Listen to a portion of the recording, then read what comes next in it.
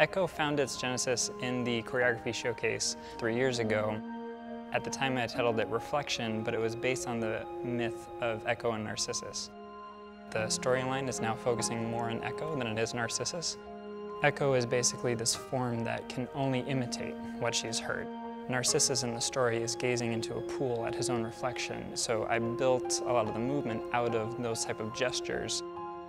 I wanted to see, can I take the Frankie and Johnny table from Michael Smuin's ballet, where it's this tabletop that rotates, and turn it into a dance that has a life of its own.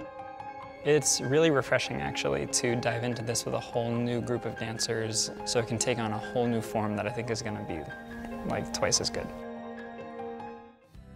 The pop music itself was a nice challenge because I didn't want to make it like a jukebox ballet. I really wanted to let the lyrics of the pop music just be another instrument involved.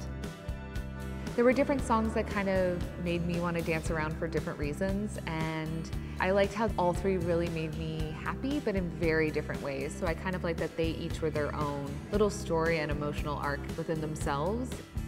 There are many different kinds of joy and they all can work in tandem together and one is not better than the other, but it's just a different way of experiencing it. That's been the most exciting thing is getting another chance to really dive into the piece and to have the time to really look at it with a fresh perspective and really thinking about the different ways we're bringing joy to life on stage.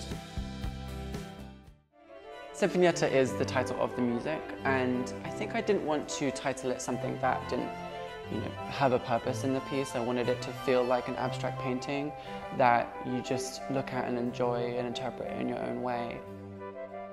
My grandmother was um, a really talented watercolor painter and I used to love looking at how the waters would just run from one thing to another and blend so beautifully. It's fun to draw on the playful qualities that we explored a couple years ago, but enhancing them with more mature and developed qualities. I really enjoy the sweeping and the heaviness of the adagio section. It feels like a weeping willow or something that sways very slowly into the allegro section. It just feels like delicate little dandelions or something, like playing in a field. The great part about working with Smuin is that I know some of these people so well and I feel so comfortable here and I feel like it's home. I love being here.